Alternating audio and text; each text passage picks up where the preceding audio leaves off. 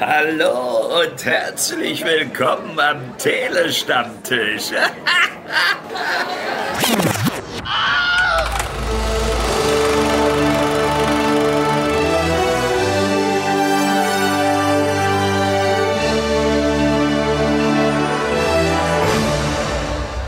Hallo, willkommen beim Telestammtisch zur Besprechung von Miller's Girl, dem neuen Film mit Jenna Ortega, in den sich auch Martin Freeman reingehört hat.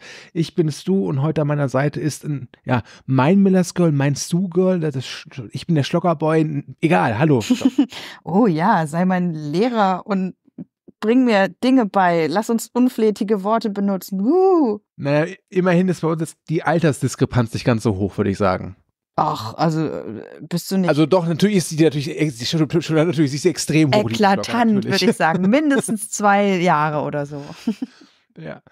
Mein lieber Schlogger, wir beide konnten mir das Gold schon vorab sehen. Mhm. Der Film startet am 14. März in den deutschen Kinos. Ähm, und du kannst uns kurz sagen, worum geht's eigentlich?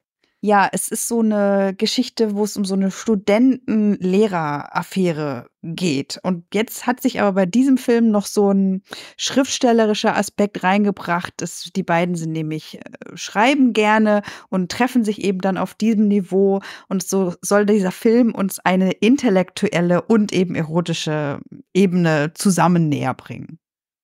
Oh lala, vielen Dank. Mhm.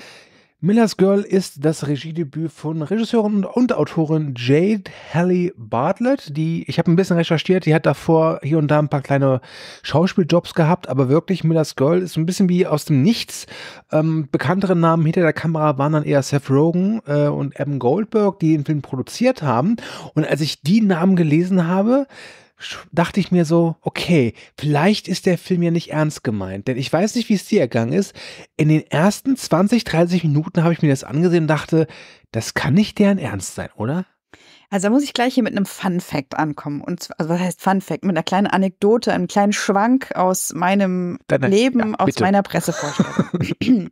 und zwar, ich habe den Film gestern im Kino gesehen und er fing an der Film war auf Englisch mit deutschen Untertiteln. Er fing an, Sound war da, aber es, es standen plötzlich Untertitel da, man hat aber nichts gehört. Und die Untertitel waren sowas wie Ah, ich lebe hier in diesem dunklen, düsteren Haus, diese riesige Villa, die meine Eltern mir überlassen haben. Nein, sie sind nicht tot, aber sie tun so, als wäre ich tot für sie. Aber immerhin kann ich meine schriftstellerische Leidenschaft ausleben, denn selbst auf einem Friedhof wachsen noch Blumen. So ist ungefähr der Text am Anfang. Und wir saßen in der PV, also in der Pressevorstellung, und es lief ungefähr fünf Minuten lang, standen unten tausend Texte, aber man hat einfach keine Dialoge gehört. Bis dann mal jemand jemand vom Kino kam und meinte, äh, ja, das soll so nicht sein. Und haben dann äh, gesagt, dass eine Box kaputt ist, es musste repariert werden. Ende vom Lied. Der Film fing erst eine Stunde später an, die Vorstellung. Und wir haben uns alle kurz äh, lachend an den Kopf gefasst, weil wir erst dachten, das sei irgendwie ein künstlerischer Trick des Films. Nein, war es nicht. Okay, äh, dann erstmal vielen Dank für deine ich nenne mal schauspielerische Glanzleistung. Wenn ihr jetzt glaubt, boah, die Schlogger hat jetzt aber echt übertrieben. Nee, es ist wirklich so. Also der Film ist durchzogen von solchen, ich möchte sagen, Dialogen und Monologen.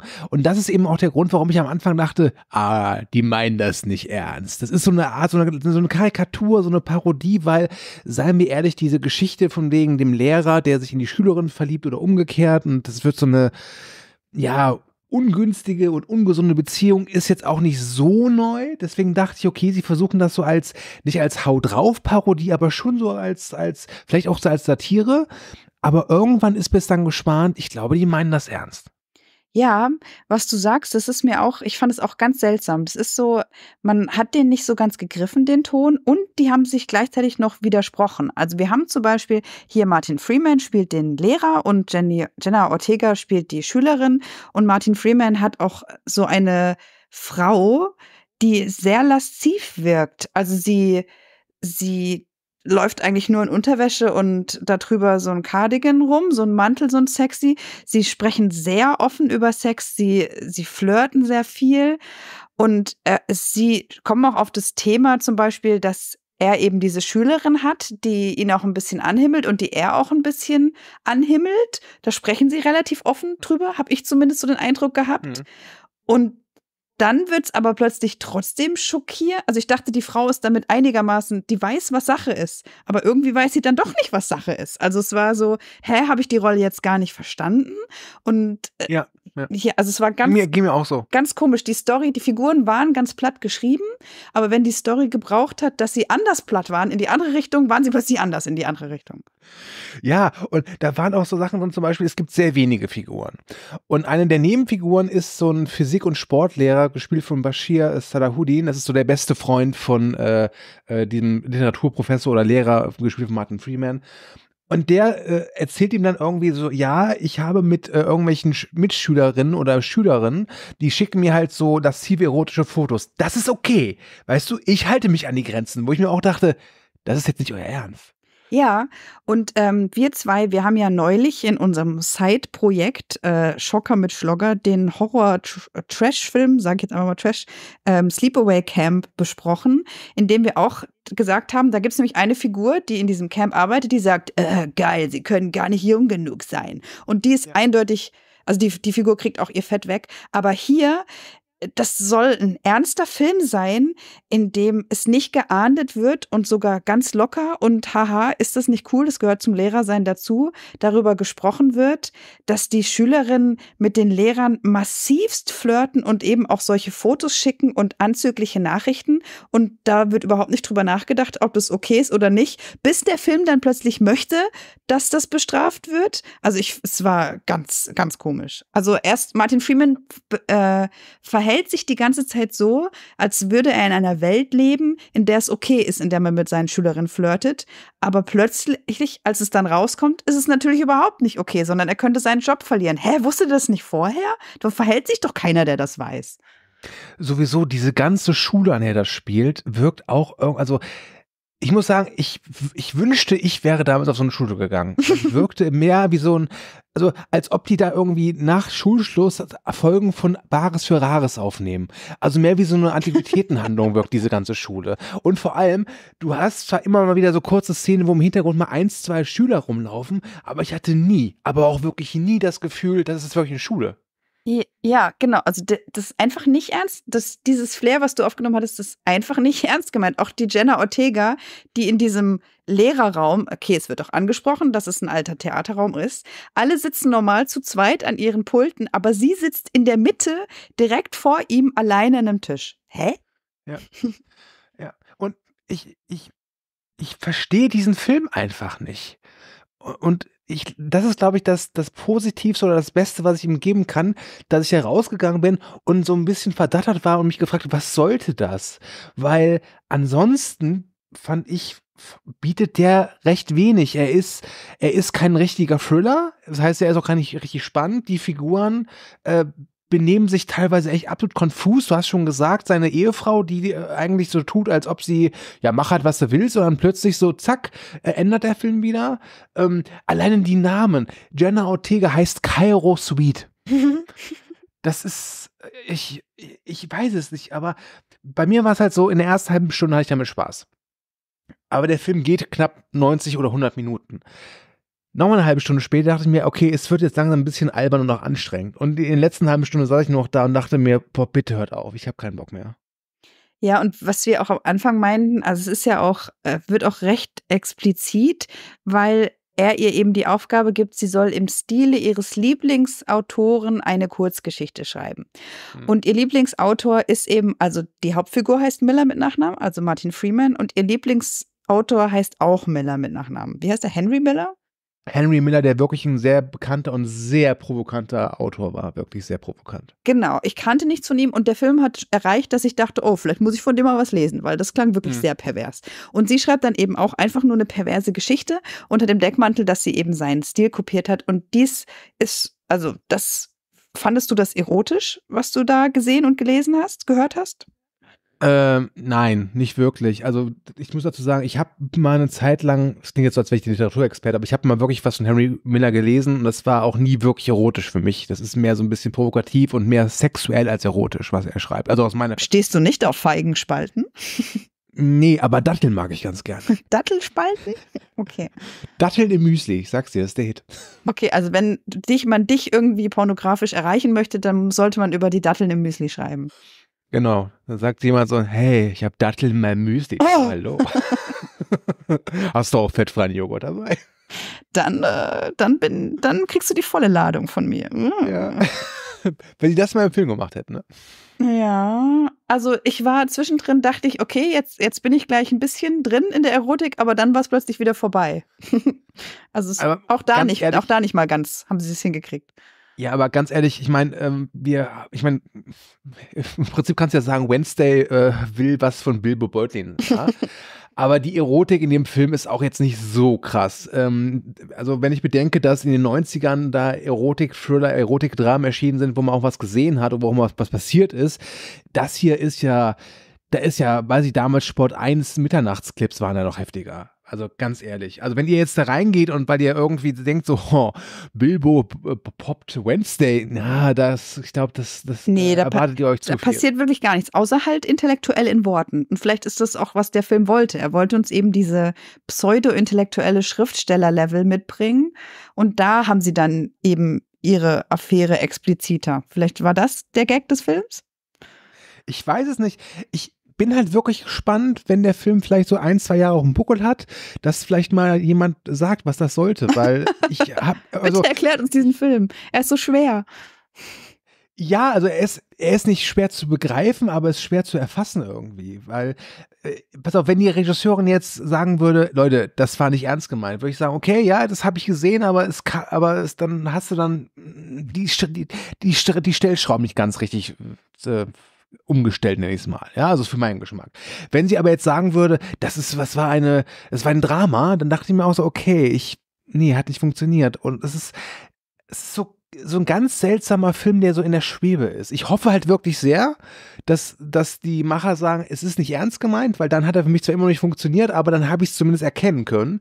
Wenn sie aber irgendwie sagen, da steckt was anderes drin, nämlich halt eben, dass es wirklich um Begehren und Obsession und Leidenschaft und zwar Leidenschaft, die sich äh, vom körperlichen Trend und fast schon das Literarische reingeht, dann sitze ich einfach nur wie der Ochs vom Berg und denke mir so, ja, gut, dann habe ich das einfach nicht gesehen. Vielleicht bin ich einfach doof. Und wie fandst du denn die Schauspieler? Also vor allem die zwei HauptdarstellerInnen? Ähm, ich, ähm, ich mag beide wirklich gerne. Ähm, ich muss aber sagen, ob das jetzt Jenna Ortega und Tim, Tim Miller, wollte ich schon sagen, Tim und Martin Freeman sind äh, oder jemand anderes, das wäre jetzt, wäre jetzt egal gewesen. Was ich ganz interessant fand, ein paar Kollegen haben im Vorfeld es verwechselt und dachten, Morgan Freeman spielt mit und nicht Martin Freeman. Das hätte der ganzen Geschichte vielleicht noch so einen extra Kick verliehen, aber ich kann dir nicht sagen, dass sie schlecht gespielt haben. Ähm, ich, ich, die machen einen guten Job. Ich glaube, das liegt mir am Drehbuch. Ich fand diesen Bashir Salahudin als seinen besten Freund, fand ich noch irgendwie ganz, ganz interessant, bis er dann plötzlich angefangen hat zu sagen so, ja, mir schicken die halt Sexfotos oder sexy Fotos, das ist okay, ne? weiter geht man einfach nicht. Ja, so ging es mir mit der Frau. Ich fand seine Frau irgendwie sympathisch, dass die so offen ist und die auch so ein sexy Ding haben, bis sie halt angefangen hat, plötzlich sich um 180 Grad zu drehen. Und ich muss auch sagen, natürlich, als sie dann anfängt, so ein bisschen auf seinem Traum rumzuhacken, das fand ich auch nicht ganz fair. Das Ey, war ja offensichtlich war auch, auch, so. Das war ja. offensichtlich nur, damit da eine Lücke entsteht, in die Wednesday reinrutschen kann dann. Und damit es irgendwie erklärt ja, werden kann. Ja, das war auch so eine Situation, wo ich dachte, okay, du, du warst jetzt so gefühlt 60 Minuten lang so ein bisschen Sharon Stone Basic Instinct drauf, ja, also immer so ein bisschen so leicht verführerisch, so ein hm, und es gibt ja auch diese schöne Szene, wenn sie ihm so nebenbei sagt, übrigens, du warst heute ein guter Ehemann, ich hole gleich einen runter. Ähm, und dann in der letzten halben Stunde packt sie so, wer hat Angst vor Virginia Woolf raus? Das habe ich auch nicht richtig verstanden. Also, ähm, Leute, wenn ihr euch den Film anguckt, wie gesagt, 14. Februar, ach, Februar, März ist es, äh, startet er, dann lasst, hinterlasst einen Kommentar bitte und sagt uns, was ihr darin gesehen habt, denn ich von meinem Teil bin echt ein bisschen ratlos rausgekommen. Ja, und ich muss auch wieder sagen, das Problem mit Martin Freeman, also es ist sein Vorteil und auch sein Problem. Er spielt ja irgendwie schon immer sich. Also, das hatte ich in dem Film auch das Gefühl. Mhm. Und es ist insofern nicht schlecht, als dass er ein sehr sympathischer Charakter einfach ist. Ja. Und ähm, in dem Film hier fand ich es dann ganz erfrischend, dass diesen naiven, netten, etwas trotteligen Typen so ein bisschen mit dieser erotischen Seite zu mischen, weil ich das kannte ich von ihm jetzt noch nicht so krass. Das fand ich dann ganz nett. Hast du den Hobbit nicht gesehen? Hm? Der Hobbit hatte, da gibt es da irgendwas mit Smaug, was ich nicht gesehen habe, irgendein Täter. Nee, mit den Zwergen, gleich im ersten Teil. Ja, ähm, ich habe ja auch äh, Breeders heißt es, glaube ich, ne, die Serie mit ihm, die hm? es bei Disney ja. Plus gibt. Da spielt er eigentlich so eine ähnliche Rolle. Also er spielt, also er spielt halt einen Ehemann mit einer Frau, mit der er ein bisschen rumflirtet, auf seine Art von Humor und die haben eben zwei Kinder. Oder es ist vielleicht gar nicht die ähnliche Rolle und ich will es einfach nur sagen, weil ich ihn, ihn eben, er ist für mich immer das Gleiche. Was nicht per se schlecht ist, weil es ist einfach. Ja, ja, aber ja, stimmt schon, stimmt schon. Also ich habe Breeders die erste Staffel gesehen und fand die sehr, sehr amüsant. Ähm, und stimmt, es gibt Parallelen dazu. Und er, er, passt auch einfach in dieses Profil einfach gut rein, wie ich finde. Was ich noch ganz spannend finde, ist, ähm, und da bleibe ich jetzt ein bisschen vage, weil es wirklich so um die letzten äh, 15 Minuten des Films geht. Ich finde halt, der Film hört eigentlich dort auf, wo ganz viele andere Filme dieses Kalibers jetzt richtig anfangen. Finde ich zumindest. Ja, ich glaube, ich hatte einfach keinen Bock mehr auf den Film und war dann froh. Ich dass, auch nicht, aber es fiel mir dann auf. War. Ja, okay. Ich bin Profi. ja. Wie war, wie war denn so bei dir nach der Vorstellung so das, das allgemeine Echo für den Film? Weil bei uns ich, war es eher sehr negativ. Ja, ich musste relativ schnell gehen, weil durch die Stunde Verschiebung äh, musste ich dann die Kids von der Kita abholen. Ähm, aber ich habe ich hab nur, also nur mein eigenes Feedback mitbekommen und ich teile es jetzt quasi mit dir zum ersten Mal, weil alle anderen, mit denen ich sonst spreche, mussten halt gehen, weil die schon vorher ihre Kinder abholen mussten. Ah, da seht ihr das mit den Kindern. Ähm, und deswegen, ich, ich merke ja schon, ihr hört es auch da draußen. Wir sind hier sofort eingestiegen mit einem Millers Girl Bashing. Also hier ist ja gar keine, kein Ordnung, keine Ordnung mehr drin. Wir, wir motzen nur, was wir schlecht fanden an diesem Film. Und das ist, glaube ich, auch, was die anderen gesagt hätten, schätze ich mal. Ja. Das war ja schon, schon allein von diesen ersten Minuten, wo wir nicht mal Dialog gehört haben, sondern nur gelesen haben, konnte man ja schon merken, okay, das ist dieser Exposition-Dump an trashigen Wortbildern von einem Mädel, was allein in einer Villa wohnt. Irgendwie war da, da konnte man schon halb ablesen, was das für ja. eine Art Film sein könnte. Ja, ja, ja, das, das, das sehe ich genauso. Und was Interessante war noch für mich, ich habe da am Vortag den neuen Woody Allen gesehen. Und da habe ich mich mit Kollegen darüber unterhalten, dass wir es beide echt zum Kotzen finden, wenn es so heißt, so, ich bin Autor. Das ist so äh, in Filmen so die ödeste Berufsbezeichnung für Leute, die, wo, wo, du einmal nicht erklären willst, was sie eigentlich beruflich machen. Weißt du? Weil die, weil die im Film sich um was anderes kümmern müssen, also um ihren Job. Was ja okay ist, ja. Aber ähm, als dann Mindersgirl der zweite Autorenfilm war, den ich diese Woche gesehen habe, dachte ich auch nur, bitte keinen dritten mehr. Ja, oder dieses, diese Autoren, die dann lehren müssen, ist ja ganz oft auch so ein Trope. Und dass sie dann damit hadern, dass sie ja eigentlich, ja. oder das, was du ja auch, glaube ich, auch meintest, dass sie eigentlich, eigentlich sind sie Autoren, aber sie machen eben, müssen eben einen richtigen Job machen und was hm. weiß ich. Also bevor jetzt Leute, die mich hier öfters verfolgen, was verfolgen, öftere Sachen, öfters, meine Gott, ich kann nicht mehr reden, bevor jetzt Leute ein bisschen meckern und sagen, aber Stu, Oliver Strange, das fandst du doch großartig, der war der Typ doch auch Autor. Ja, aber da macht es Sinn, dass er Autor ist. Wegen seiner Imagination, wegen seiner Fantasie. Das will ich hier nur kurz loswerden. So. Ähm, wer aber auch ein Autor ist, oder beziehungsweise, ja, nicht Autor, ich würde sagen, Comic-Künstlerin bist du. Und du bist ja sowas wie meine Lehrmeisterin. Und zwar mm. Lehrmeisterin, wann man einen Podcast beenden sollte. Und ich habe das Gefühl, wir sind jetzt so in dieser Phase des Podcasts, wo, ich, wo wir einfach mal unser Fazit abgeben und uns danach verabschieden. Was sagst du dazu? Ich bin, ich bin da voll dabei. Ja. Okay, dann darfst du anfangen. Also ich fand den Film wirklich gar nicht gut. Ich habe, ich habe, ich glaube, ich der Dame von der Presse dann von dem vom Verteiler am Ende gesagt, nee, vom Vertrieb. Ich weiß nicht mehr, wie das richtige Wort ist. Ist auch egal. Mein Zitat war irgendwie, ja, schön inszeniert und kurzweilig, aber war halt scheiße, so ungefähr. Nur in schönen Worten. Äh, also er ist man kann ihn sich angucken. Es gibt schlimmere Filme, aber das ist, glaube ich, das Beste, was ich aus dem Film jetzt rausholen kann. Ich fand den echt, vor allem wenn die Charaktermotivationen so hin und her geworfen werden und man gar nicht mehr versteht, was jetzt eigentlich hm. sein soll und dieses Hauptthema auch nicht mal richtig durchgespielt wird. Und ja, ich, also ich fand den wirklich echt nicht gut. Deswegen von mir da keine Empfehlung dafür. Und du, du, was sagst du? Ja, kann ich genauso unterschreiben. Bin ich eins zu eins deiner Meinung und äh, füge noch hinzu, dass es auch erotisch gesehen nicht knistert, wirklich gar nicht. Also ich würde diesem Film wirklich nur richtig hartgesottenen Jenna Ortega und Martin Freeman Fans. Findest du es nicht empfehlen. sexy, wenn man mal das Wort Fotze und Wichse sagt? Dürfen wir das hier sagen? Ich weiß es nicht. Und das ist schon das Level an, an Erotik, was wir da erreichen. Ähm, doch, das ist jetzt, also ich, uh, Schlogger, jetzt, es wird gerade wärmer hier. Also, oh, ich glaube, wir sollten jetzt echt aufhören. Also. Datteln im Müsli. Ah. Schlogger, verzeih mir dieses sehr unangebrachte Vokabular, aber du bist ein verrücktes Luder. So, also, ähm, wir sind hiermit durch. Keine Empfehlung von uns von Mindas Girl. Äh, wenn ihr ihn trotzdem sehen wollt, ab dem 14. März, nicht April, nicht Februar, März ist es im Kino. Übrigens, einen Tag davor kommt die neue Folge äh, Schocker mit Stocker raus. Das heißt, wenn ihr diesen Podcast hört, ist sie vermutlich schon draußen und äh, hört euch das an. Es Denn geht das um ist sehr gut. Sleepaway Camp, passend Sleepaway zum Thema, genau. Genau. Und äh, wie erotisch das sein wird, das verraten wir nicht. Das müsst ihr schon selbst hören. Also, ihr Lieben, vielen Dank. Denkt dran, Telestammtisch gibt es überall, wo es Likes und Podcasts gibt. Könnt uns gerne auch eine Bewertung, eine positive natürlich und ein Like da lassen.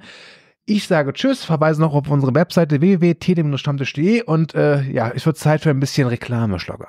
Ja, Reklame. Denn oh, ich bin ja Autorin, aber ich muss arbeiten, um Geld uh, zu verdienen. Und eigentlich will ich ja nur schreiben. Und wo ist denn mein lüsterner kleiner Student? Uh. Nein, also ich schreibe auch Bücher, die könnt ihr sehen im schloggershop.de oder mal reinlesen auf schlogger.de oder geht einfach auf Social Media, da findet ihr fast alles umsonst, müsst ihr gar nichts kaufen. So ist es doch in der heutigen Zeit. Ähm, Social Media unter dem Handle The Schlogger und zwar auch eigentlich überall, wo es Likes gibt. Das war die Reklame. Mehr Reklame für mich als für diesen Film. Ich freue mich, wenn ihr beim nächsten Mal wieder dabei seid und wir hören uns. Tschüss! Sehr geehrte Damen und Herren, wertes Publikum, liebe Hörende, vielen Dank für eure Aufmerksamkeit und Zeit. Ich hoffe sehr, euch hat gefallen, was ihr gerade gehört habt. Wir, die Redaktion des Telestammtisch, betreiben ein semi-professionelles Podcast-Projekt zum Selbstmitmachen. Also meldet euch bei uns, wir beißen auf. Außerdem freuen wir uns immer über Feedback via Social Media und E-Mail sowie euren finanziellen Support. Ebenso frohlocken wir förmlich über Bewertungen auf den gängigen Podcast-Plattformen. Wer möchte, darf uns gern immer und überall empfehlen. Alle relevanten Links findet ihr in den Show Notes. Vielen Dank und bis zum nächsten Mal. Euer Andi.